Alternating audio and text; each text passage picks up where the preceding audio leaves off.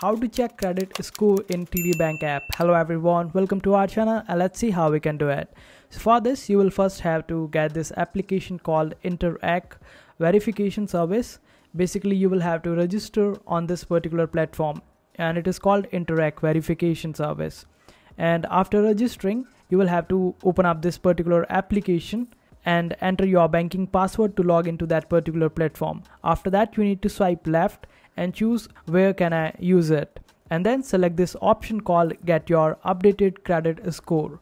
And this way, this app will be able to help you connect with the credit reporting agency Equifax. And now you will be able to see your credit score and this is how you do it.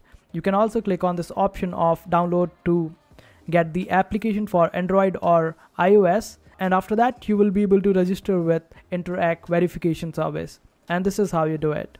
I hope this video was helpful. Make sure to hit that like button and also subscribe to our channel for more helpful videos.